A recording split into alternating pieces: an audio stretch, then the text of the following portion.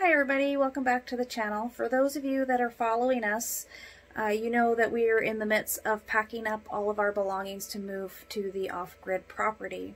Today I wanted to talk to you about one of the items that we're taking with us, and that is our incubator.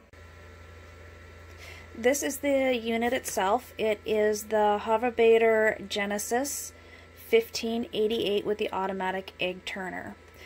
Uh, I've had a couple egg incubators and this is by far my favorite.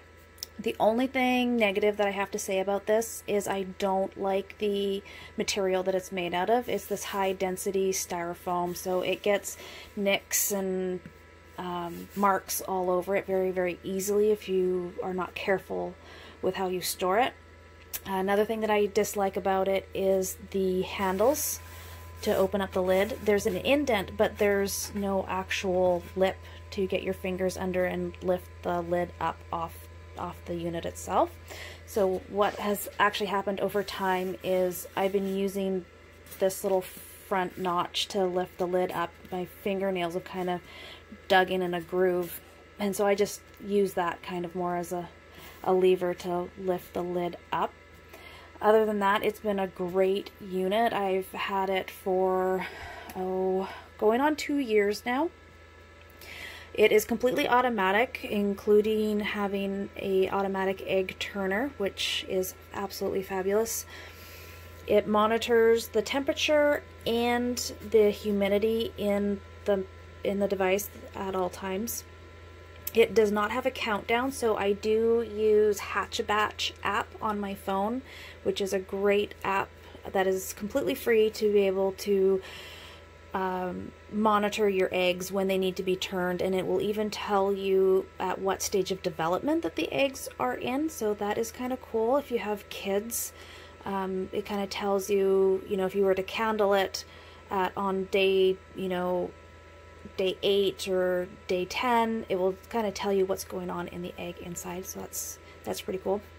The reason why uh, we chose to buy this unit in the first place is we always knew that we were going to go to an off-grid property and this particular model can be converted to a 12 volt system. So when you first purchase this, it does come with the standard household plug-in, but at this end of this little power box here, um, is it comes unplugged and you can uh, purchase the 12 volt connecting system and you can convert back and forth as needed. So if you happen to be, you know, in, in a standard electrical home and you have a power outage and you're incubating eggs, you can quickly set it up to a 12 volt system so that you don't end up losing all of your hard work.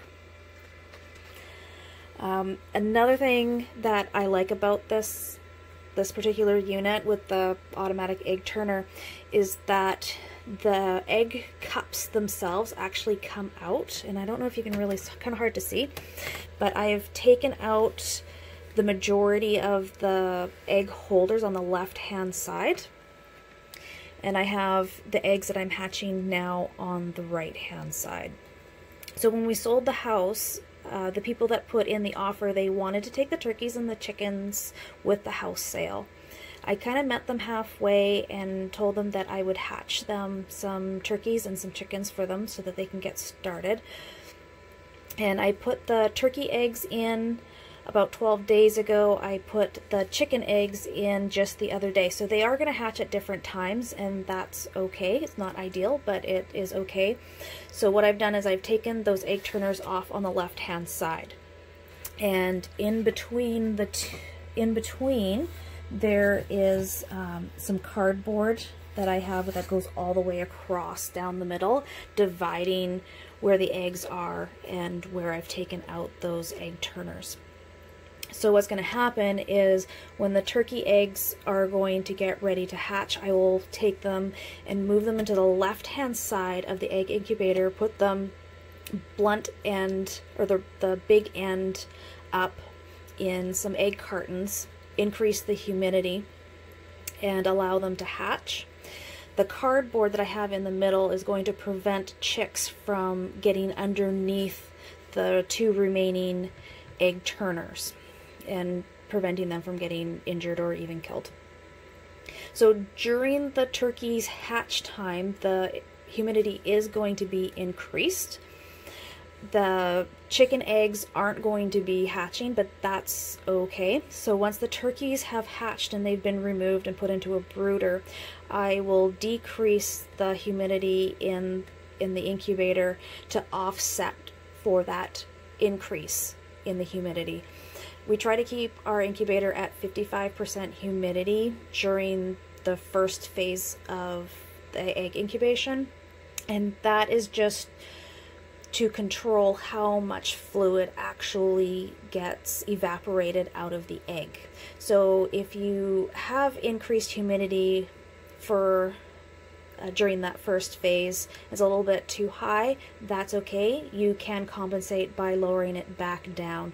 The biggest thing is to monitor those air cells within the eggs.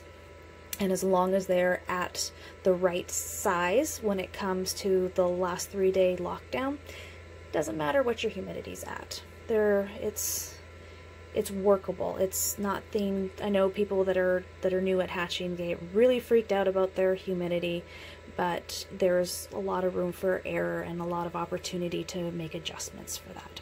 So, anyways, this is the incubator. It is a fantastic model. I've had great success with it. The majority of the times I get 100% hatch out um, I think the worst I've ever gotten was 90%. So that is pretty darn good. And it is convertible to a 12 volt system.